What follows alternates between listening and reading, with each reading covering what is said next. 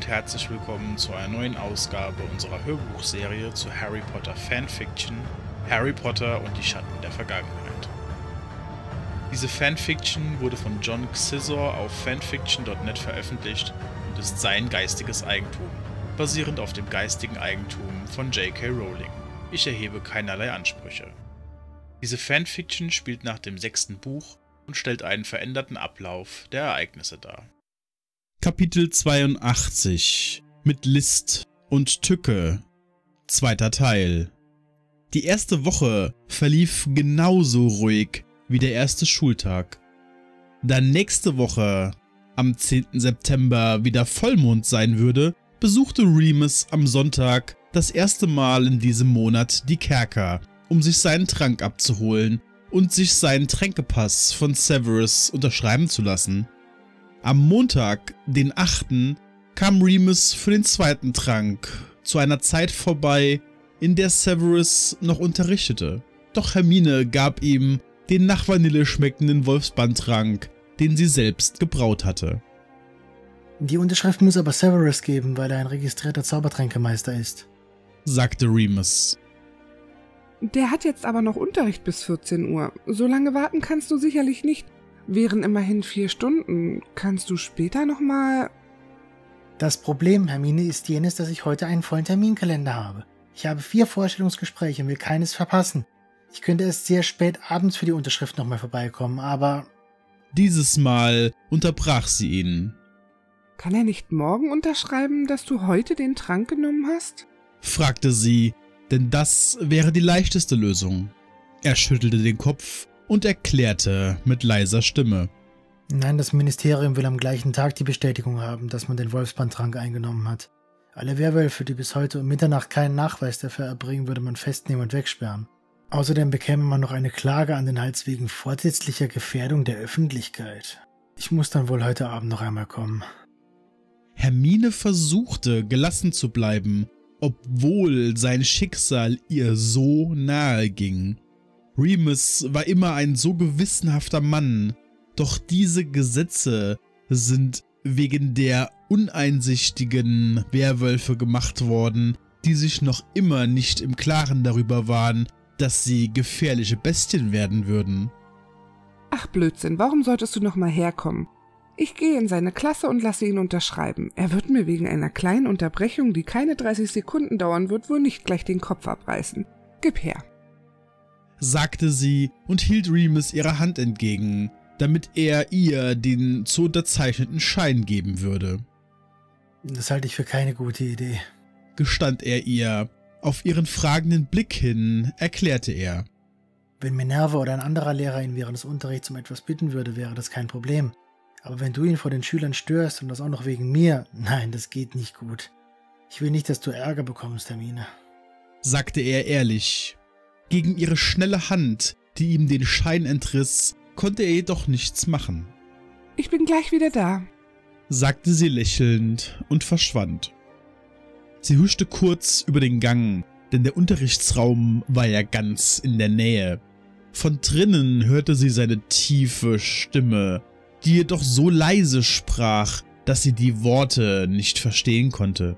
Nur für wenige Sekunden lang fühlte sie sich in ihre eigene Schulzeit zurückversetzt. Sie wartete, bis es still war, so, dass sie ihn nicht mitten im Satz unterbrechen würde, und dann klopfte sie. Ein tiefes Herein folgte, und Hermine holte tief Luft, bevor sie die Tür öffnete. Natürlich blickte nicht nur Snape auf sie, sondern auch alle Schüler, die offensichtlich gerade Flubberwürmer mit der flachen Seite eines Messers zerdrückten, um sie in ihren Kessel zu tun. Hermine erkannte am Geruch, der im Raum lag, dass die Schüler einen Trank gegen Erkältung brauen würden. In Windeseile war sie vorn bei Snape am Pult angelangt und sagte leise.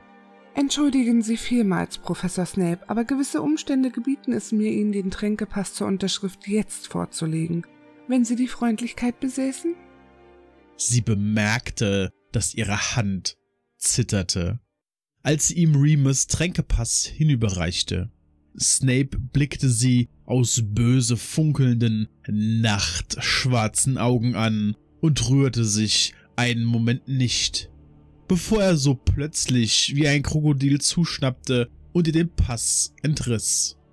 Er knallte ihn auf sein Pult, zückte die Feder und kritzelte seine winzige, enge Unterschrift in das entsprechende Feld. Wieder beobachtete er, wie seine Unterschrift verschwand und der rote Bestätigungsstempel des Ministeriums erschien.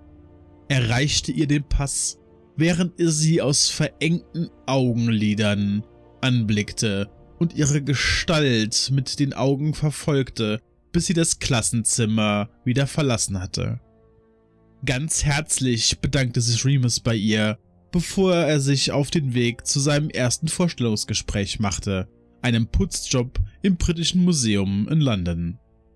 Die Bücher, die Snape ihr aufgetragen hatte zu lesen, lagen übereinander gestapelt auf dem kleinen Arbeitstisch in seinem privaten Büro, an welchem sie schon die Abhandlung über seinen Traum geschrieben hatte.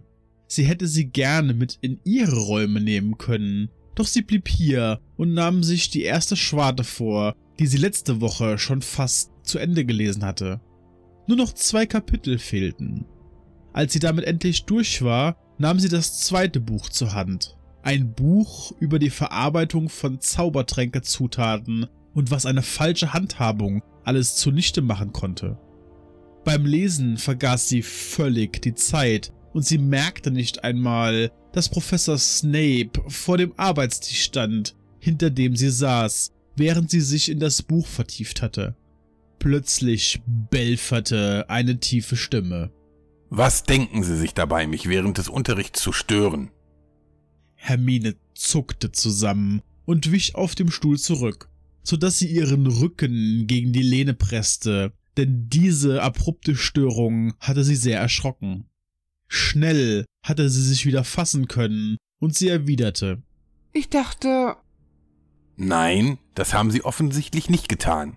Ich habe Ihnen erörtert, dass unsere Zusammenarbeit erst nach meiner eigentlichen Aufgabe hier in Hogwarts als Lehrer stattfinden würde, bevor mein Unterricht zu Ende ist. Aber. Wagen Sie es nicht, mich noch einmal zu unterbrechen, Miss Granger. Mr. Lupin hätte später noch einmal kommen können. Sie werden mich nie wieder während des Unterrichts aufsuchen, wenn ich Sie nicht persönlich darum bitten sollte. Haben wir uns verstanden? sagte er bedrohlich leise. Hermine hatte keine Angst vor ihm, aber sie fühlte sich ungerecht behandelt, so dass vor lauter Wut ihre Unterlippe zitterte. Sie hätte gern die Umstände erläutert, weshalb sie ihn gestört hatte. Aber sie wusste, dass sämtliche Erklärungsversuche bei ihm auf taube Ohren stoßen würden, denn der Grund für die Störung war ihm egal. Bei jeder anderen Person, außer vielleicht Sirius, wäre er wohl nicht so wütend gewesen, aber weil es wegen Remus gewesen war, entfesselte sich sein Zorn ungebremst. So kniff Hermine lediglich ihre Lippen zusammen und nickte, so dass das Thema vergessen schien. Doch für sie war das nicht der Fall. Sie ärgerte sich so sehr über ihren Professor, dass sie in diesem Moment den Entschluss gefasst hatte, ihn entweder mit seinem Irrwicht zu konfrontieren, wenn es heute die Gelegenheit dazu geben würde, oder ihm ihren Trank unterzumischen, der seine Magiefarben zum Leuchten bringen würde. Durch seine grantige Art hatte er unwissentlich Rachegelüste in ihr geweckt. Sie folgte ihm in sein Privatlabor, bemerkte gleich neben der Tür ihren Farbtrank und steckte eines der kleinen Fläschchen unauffällig in ihre Hosentasche, um für passende Gelegenheiten immer eines bei sich zu tragen. Sie brauen heute unter meiner Aufsicht ein Amotentia, Miss Granger, befahl er, ohne sie dabei anzusehen. Wieso denn einen Liebestrank? fragte sie verdutzt. Ihre Frage schien ihm auf den Geist zu gehen, weswegen er mit den Augen rollte und langsam, als würde er zu einer Erstklässlerin sprechen, erklärte. Weil die Zubereitung von einem Amotentia äußerst kompliziert ist und ich dadurch erfahren werde, wie behende sie sich gerieren. Seine Art und Weise missfiel ihr von Minute zu Minute, und immer mehr dachte sie bei sich, Mache nur so weiter, das wirst du mir bezahlen. Die Atmosphäre war heute auf dem Nullpunkt, und das änderte sich auch nicht, während sie den Amotentia braute. Das warme Feuerchen, welches er sonst immer ihr zuliebe im Kamin hatte prasseln lassen, fehlte heute. Für sich selbst hatte er seinen Kamin selten entzündet, aber heute blieb er trotz der Anwesenheit seiner Schülerin aus. Der Schrank mit dem Irrwicht stand schon seit Wochen in Snapes privatem Büro. Den Trank sollte sie in seinem Privatlabor brauen, welches nur ein Zimmer weiter lag und durch eine Verbindungstür zu erreichen war. Auch wenn jeder Raum separat über einen Durchgang zum Flur verfügte, würde sie es schaffen, den Irrwicht ungesehen zu befreien, und zwar so, dass Snape ihm näher wäre als sie selbst. Sie würde es versuchen und zerbrach sich den Kopf, wie sie es nur anstellen konnte. Gut, Miss Granger, jetzt rühren Sie den Trank für 20 Minuten nicht an, sonst ist er unbrauchbar. Lassen Sie ihn auf kleinster Flamme köcheln, sagte Snape mit eiskalter Stimme. Ich brauche für nachher noch eine Vanillestange, aber in Ihren Vorratsschränken habe ich keine gefunden, sagte sie genauso distanziert wie er. In meinem Büro habe ich welche. Sie ließ ihn nicht ausreden und sagte bereits Accio Vanille. Hier fuhr er ihr über den Mund und schimpfte. Sie werden hinübergehen und sie holen. Ich werde es nicht gestatten, dass Sie Zutaten per Aufrufezauber hin und her schweben lassen, Miss Granger. Denn Unfälle sind dabei absehbar. Selbst wenn sich's heute nur um eine Vanillestange handelt, so können Sie sich gleich angewöhnen, Ihre benötigten Zutaten auf konventionelle Art und Weise an den Tisch zu holen.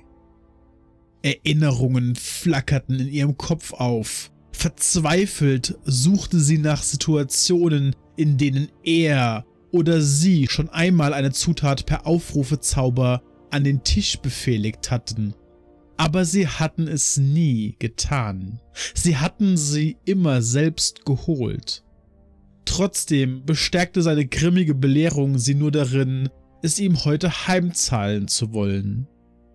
In seinem Büro entdeckte sie die Vanillestangen in einem Glas in der Vitrine des Schrankes, der neben dem des Irrwichts stand, der wiederum gleich neben der Tür stand, die in den Flur führte. Ein teuflisches Grinsen formte sich auf ihrem Gesicht. Sie würde mit wortloser Magie den Schrank des Irrwichts öffnen, dann zurück ins Labor gehen und behaupten, sie würde die Vanillestangen nicht finden. Sicherlich würde er ihr in diesem Moment einige Beleidigungen an den Kopf werfen, aber er würde sich trotzdem selbst auf den Weg machen, um sie zu holen. Dann müsste er an dem Irrwicht vorbei und sie könnte die ganze Szenerie von der Labortür aus beobachten. So wollte sie es machen. Zu Hause bei Susan verabschiedete ihre Mutter gerade den Heiler an der Tür, der einen Hausbesuch gemacht hatte, während Susan das Gespräch, welches sie mit ihm geführt hatte, in Gedanken wiederholte. Wie lange hält Ihre Übelkeit schon, Miss Bones? hatte der Heiler gefragt, während er derweil seinen Zauberstab gezückt hatte. Schon über eine Woche, aber nie musste ich mich so schlimm übergeben, hatte sie erwidert. Nehmen Sie regelmäßig irgendwelche Heilmittel oder Tränke ein? Sie hatte gefühlt, wie die Röte über ihre Wangen gekrochen sein musste, denn ihre Mutter war während der Untersuchung im Zimmer geblieben und so hatte sie in ihrer Anwesenheit wahrheitsgemäß antworten müssen, auch wenn ihre Stimme um einiges dünner geworden war. Ähm, ich nehme jeden Abend ein, einen Verhütungstrank ein. Ihr war nicht entgangen, dass ihre Mutter daraufhin ebenfalls errötet war. Haben Sie die Tränke hier? Ich würde gerne einen Blick darauf werfen, hatte der Heiler vorhin gesagt. Weshalb Susan ihrer Mutter erklärte, wo genau im Badezimmer die Tränke verstaut werden, so dass sie eines der Fläschchen holen konnte. Der Heiler hatte das Fläschchen entgegengenommen und entkorkt, um daran zu riechen. Gleich darauf hatte er das Gesicht verzogen. Susan konnte ihre Gedanken an die Untersuchung nicht weiterführen, denn ihre Mutter war zurück ins Schlafzimmer gekommen. Sie blickte ihre Tochter an, sagte aber eine Weile lang nichts, näherte sich ihr jedoch und setzte sich auf ihr Bett. Die Realität hatte sie wieder eingeholt und Susan konnte es nicht vermeiden, dass sich Tränen in ihren Augen sammelten, was ihre Mutter bemerkte. Mit leiser Stimme fragte ihre Mutter, Ist es dir überhaupt nicht aufgefallen, dass die Tränke anders geschmeckt haben? Susan verneinte wortlos. Ihre Mutter seufzte und ergriff zärtlich ihre Hand. Diese Geste ließ die erste Träne über ihre Wange herunterkullern als Susan schniefend fragte. Ich hab's nicht gemerkt. Ich hab sie die ganze Zeit lang genommen und hab nur gesehen, dass sie langsam zur Neige gehen und ich neue besorgen muss. Mir ist wirklich nicht aufgefallen, dass das Haltbarkeitsdatum abgelaufen war. Susans Lippen begannen zu zittern und sie zog die volle Nase hoch so dass ihre Mutter sich dazu aufgefordert fühlte, ihr ein Taschentuch zu reichen, so dass sie sich die Nase putzen konnte. Nach einer ganzen Weile sagte ihre Mutter, ich bin so froh, dass es rechtzeitig bemerkt worden ist. Sonst hättest du dich noch selbst vergiftet, Schatz. Sie holte tief Luft, bevor sie offen ansprach. Ich könnte dir immer noch Verhütungsmittel aus der Muggelwelt besorgen, Liebling. Ich bin da noch krankenversichert und könnte mir ein Medikament für dich verschreiben lassen. Sie drückte die Hand ihrer Tochter, bevor sie hinzufügte. Natürlich erst, nachdem das Kind geboren wurde. Susan begann bitterlich zu weinen. Es war alles ihre Schuld. Ihre Mutter, von der sie die roten Haare geerbt hatte, nahm ihre Tochter in den Arm und wiegte sie wie sie es schon gemacht hatte, als sie noch ein Kind gewesen war. Susan konnte sich in Ruhe ausweinen, während sie derweil getröstet wurde. Ganz leise flüsterte ihre Mutter ihr ins Ohr. Du weißt, dass deine ganze Familie dir helfen wird, mein Schatz. Ganz egal, was geschehen wird. In diesem Moment hatte Susan das Gefühl, jemand würde ihr das Herz zerquetschen weil sich für den Bruchteil einer Sekunde der Gedanke in ihr breit machte, Draco könnte sie womöglich verlassen, nachdem sie ihn darüber informiert hätte, doch die flüsternde Stimme ihrer Mutter verdrängte den Gedanken, als diese sagte, Wir können nur ganz fest hoffen, dass die schlecht gewordenen Tränke sich nicht auf die Schwangerschaft auswirken. Aber ich bin mir sicher, dass alles gut gehen wird? In den Kerkern hatte Hermine alles gut durchdacht. Aber ihr heimlicher Plan wurde unwissentlich von Snape vereitelt. Sie hatte gerade eben per wortlosem Zauber eine Schublade des Schrankes mit dem Irrwicht einen kleinen Spalt geöffnet und sich schnell umgedreht, um ins Labor zurückzugehen. Da hörte sie hinter sich die Tür im Büro, die zum Flur führte, zuschlagen. Snape war über den Flur ins Büro gekommen. In einer Hand hielt er eine Ampulle und ein dunkelblaues, bauchiges Fläschchen mit Zutaten, die sie nachher noch benötigen würde. Er hatte sie offenbar aus seinem persönlichen Vorratsraum geholt, aus dem sie damals auch die Baumschlangenhaut entwendet hatte, und der vom Flur aus gleich neben der Tür seines Büros lag. Kaum hatte Hermine sich umgedreht, sah sie auch schon, wie er mit dem Zauberstab die Schublade des Irrwichtschranks schloss, bevor er sich zu ihr umdrehte und gereizt zischend sagte. Sind Sie denn von allen guten Geistern verlassen?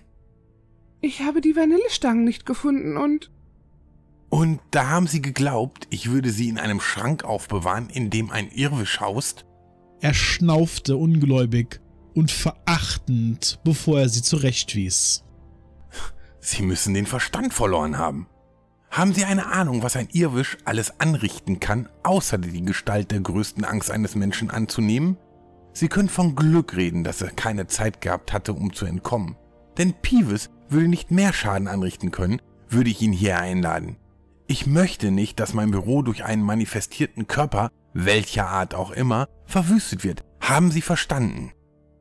Der heutige Tag war von Anfang an zum Scheitern verurteilt, dachte Hermine. Sie bemerkte, dass ihre Wangen warm geworden waren, als sie die Schelte über sich hatte ergehen lassen. Verlegen kniff sie die Lippen zusammen und nickte ihrem Professor reumütig zu, der daraufhin zu seinem Schreibpult hinüberging und Ampulle und Flasche darauf abstellte. Er atmete einmal tief ein und aus, bevor er sich der Vitrine näherte und das Glas mit den Vanillestangen entnahm, während er schimpfte. Man kann sie sogar durch die Vitrinentür hindurch erkennen, aber sie scheinen momentan mit Blindheit gestraft zu sein. Er stolzierte auf sie zu und hielt ihr das Glas mit den Vanillestangen vor die Nase, welches sie still entgegennahm.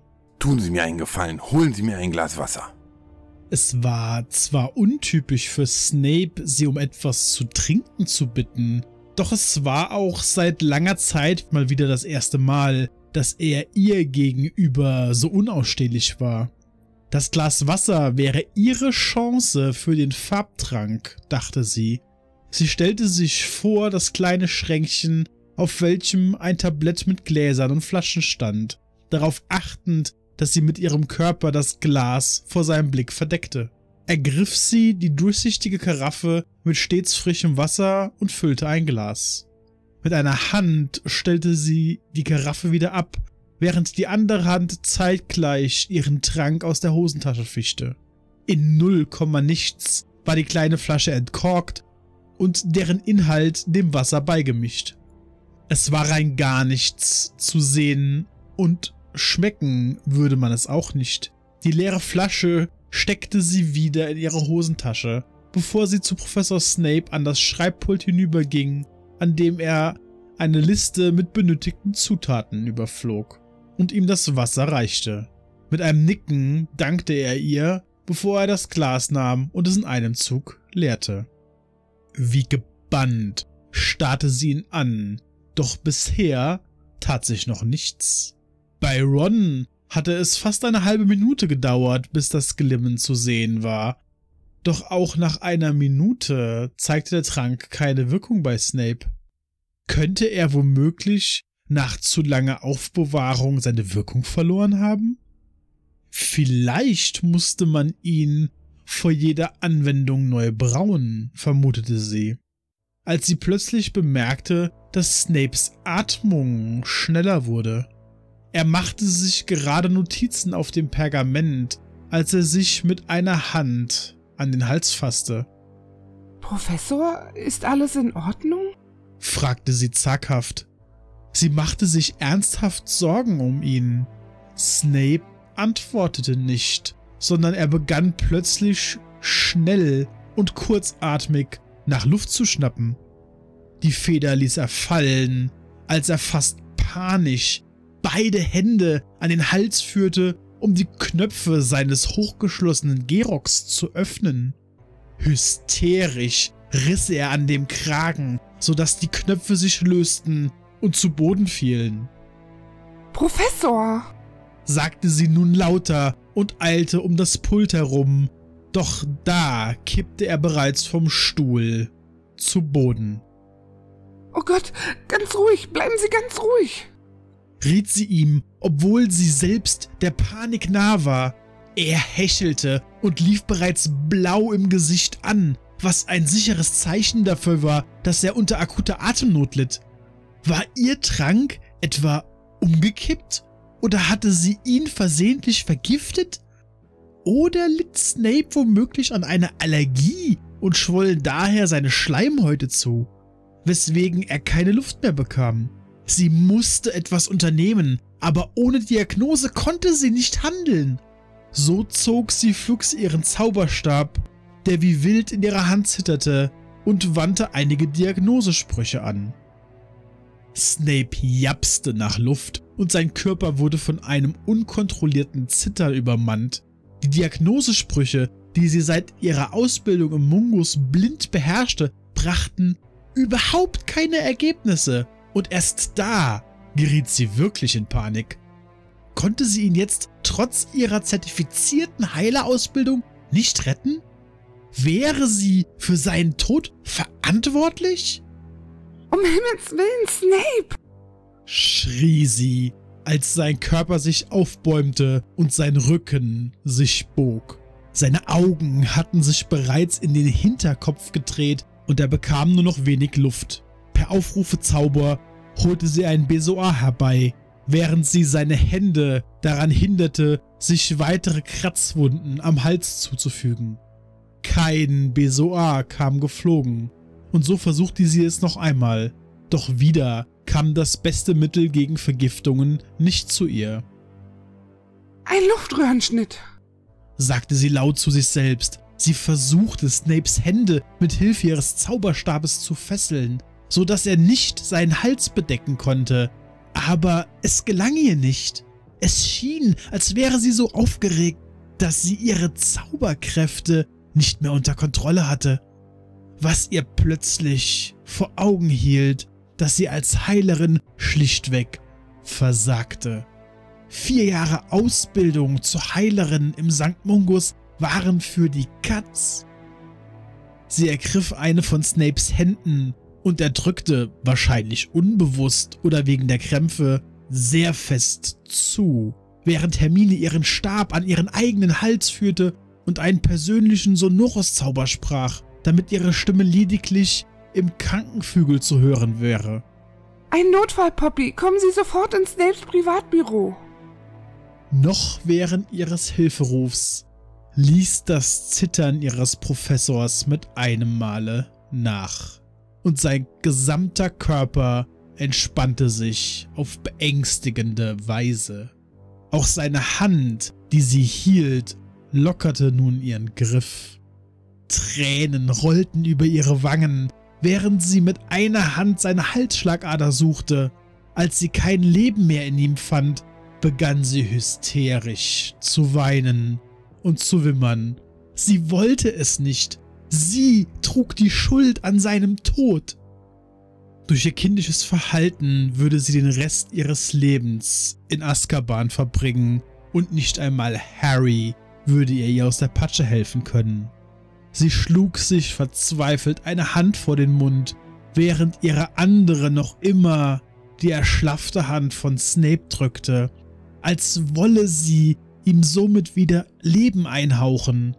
Doch dann vernahm sie plötzlich seine Stimme, die leise fragte.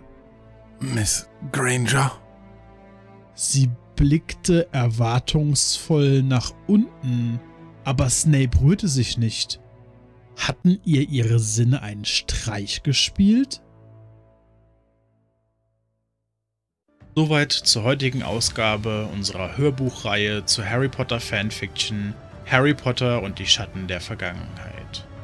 Vielen Dank fürs Zuhören. Wenn es euch gefallen hat, lasst uns bitte einen Daumen nach oben da und sehr gerne natürlich auch einen Kommentar, denn die Feedback Challenge ist immer noch on. Wenn ihr mögt, natürlich auch gerne ein Abo. Ciao, bis zum nächsten Mal.